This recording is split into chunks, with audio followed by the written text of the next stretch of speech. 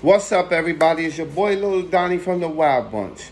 Make sure you go get my book, Wild Bunch: The Dimensions of a Brownsville Millionaire, out now on Amazon. And now listen, for all you guys this coming home from jail, they let a lot of y'all out, and y'all hitting the streets again. But please, fellas, don't rush. Everything is gonna come to you that you want. Please. You want to get out here, you want to get money, you want to take care of your families. All right, we understand that. But I really need y'all to just slow down. When you was in jail, all you wanted was to come home and be out here with your family. You didn't care if you ain't had no money if they would have told you that.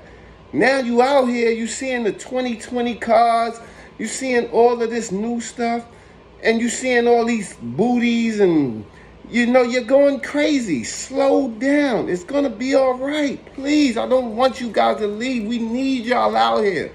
We need y'all out here to show the youth where y'all was at and where they don't want to go.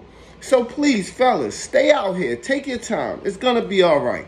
And stay safe out there. Stay safe out there and go get that book.